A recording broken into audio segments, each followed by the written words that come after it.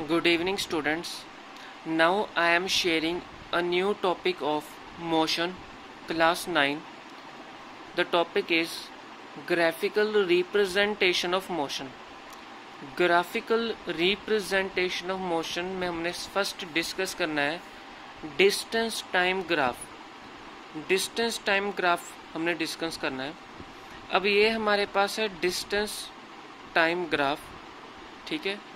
और हमने distance time graph में हम क्या देख रहे हैं कि ये जो स्ट्रेट लाइन बन रही है, ये हमें यूनिफॉर्म स्पीड के बारे में बता रहे हैं। Distance time graph of a body moving at a uniform body is always a straight line in other words this straight line graph between distance and time tells us that the body is moving with a uniform speed एक तो आपने ये चीज़ ध्यान रखनी है कि distance time graph हमें क्या बताता है, क्या इन्फॉर्मेशन दे रहा है।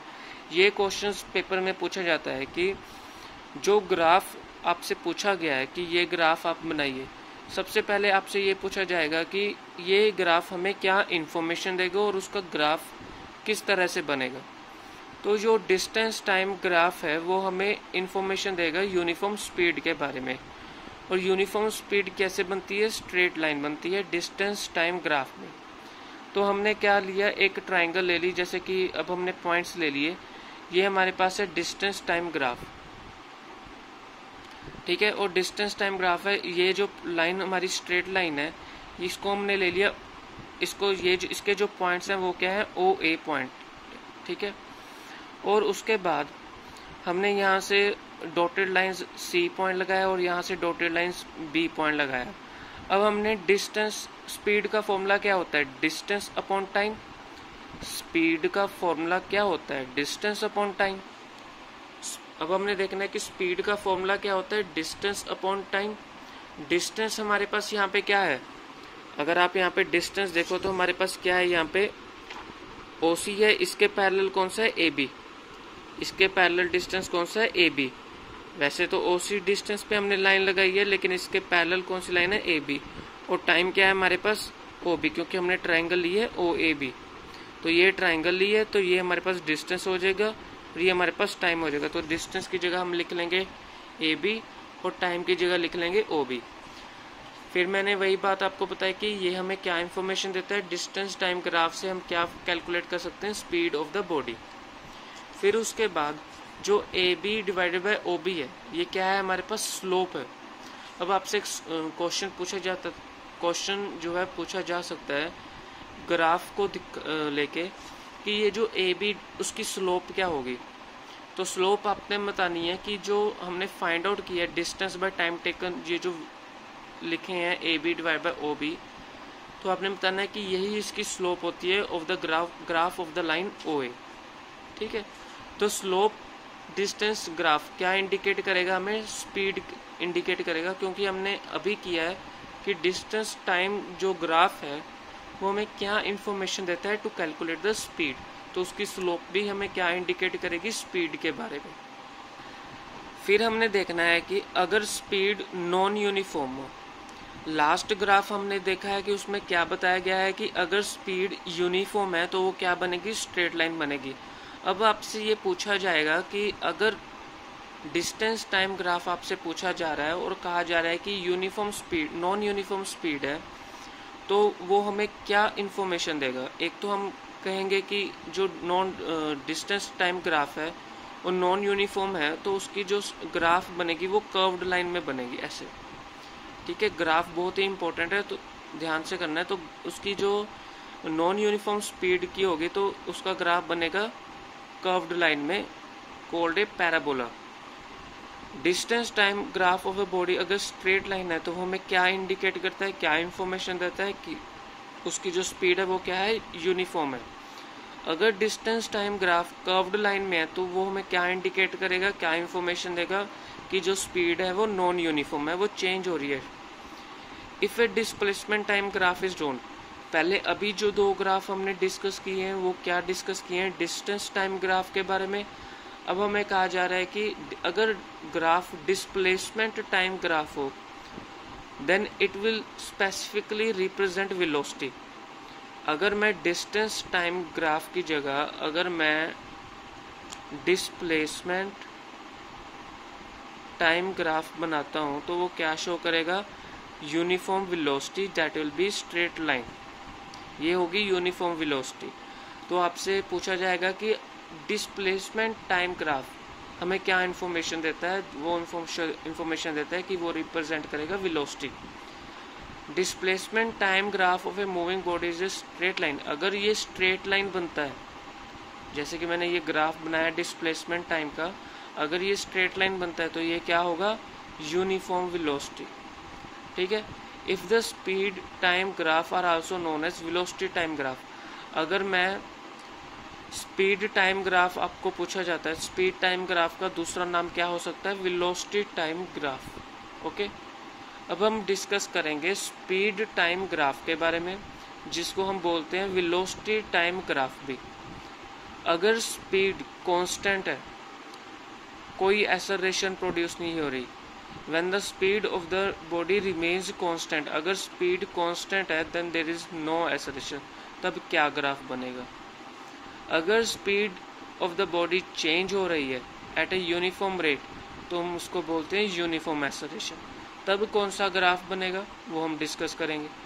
When the speed of the body changes in a non uniform अगर स्पीड यूनिफॉर्मली चेंज नहीं हो रही नॉन यूनिफॉर्म है तो उसका ग्राफ क्या बनेगा, उसको हम बोलते हैं नॉन यूनिफॉर्म एसलेशन अब सबसे पहले हम फ़र्स्ट कंडीशन डिस्कस करते हैं when the speed of the body remains constant जब कोई एसलेशन नहीं होगी.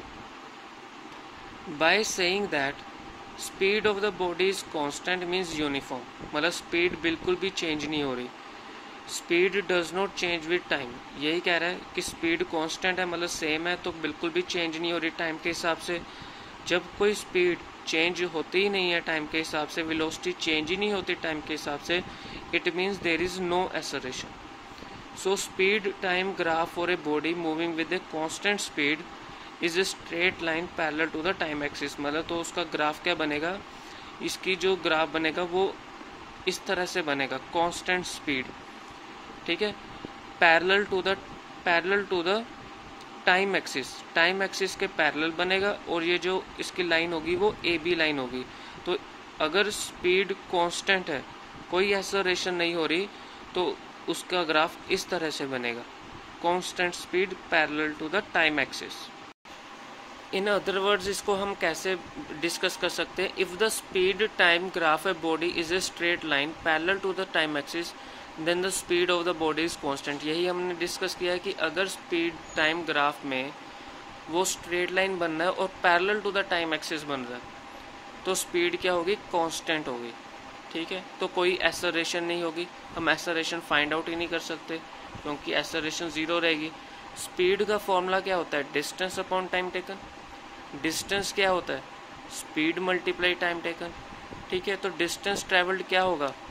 तो हमने ये बनाया ग्राफ स्पीड टाइम ग्राफ बनाया था, और यहाँ पे कांस्टेंट स्पीड बनाई थी ओ ए ठीक है तो ये डिस्टेंस हो गया मल्टीप्लाई टाइम कितना हो गया ये?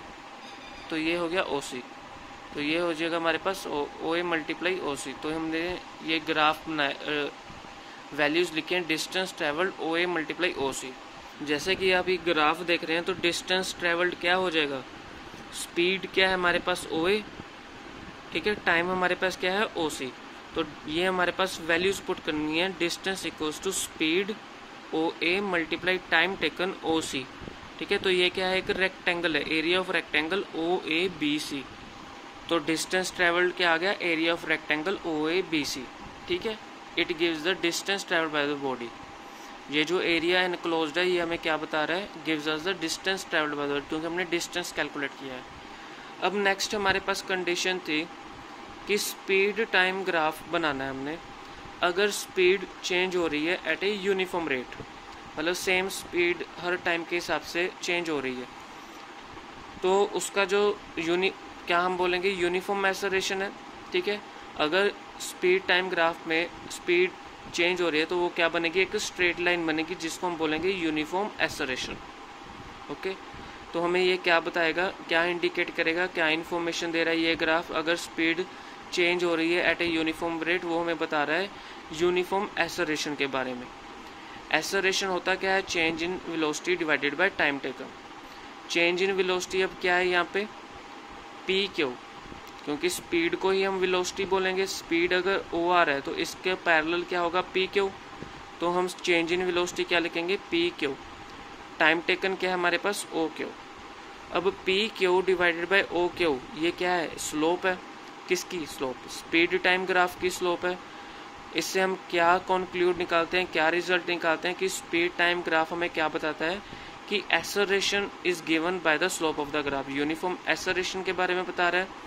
कि जो स्लोप है स्पीड टाइम ग्राफ की वो हमें बता रहा है एसोरेशन के बारे में।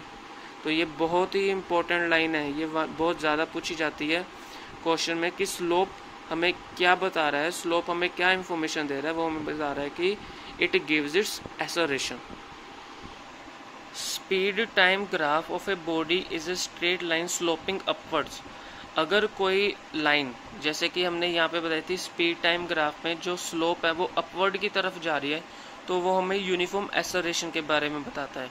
अगर कोई स्लोप डाउनवर्ड आ रही है तो वो हमें क्या बताता है? रिटार्डेशन के बता रहे रिटार्डेशन के बारे में। रिटार्डेशन हमें क्या बताता है कि उसकी जो वेलोसिटी है, वो यूनिफॉर्मली डिक्रीज हो रही है। पहले वेलोसिटी 20 मीटर पर सेकंड थी, फिर हमने अब ब्रेक्स अप्लाई किए तो वो क्या होगी? 10 मीटर पर सेकंड अगर स्लोप अपवर्ड की तरफ़ है तो वो यूनिफॉर्म एसरेशन के बारे में बता रहा है। अगर वो डाउनवर्ड आ रही है तो वो क्या बता रहा है? रिटार्डेशन के बारे में। We assume that initial speed of the body is zero ठीक है? इनिशियल जब हमने एसरेशन का ग्राफ बनाया था स्पीड टाइम ग्राफ में, जब हमने स्ट्रेट लाइन लगाई थी, ठीक है? तो जब हमने स्ट्रेट लाइन लाइन लगाई थी तो यहाँ से शुरू की थी।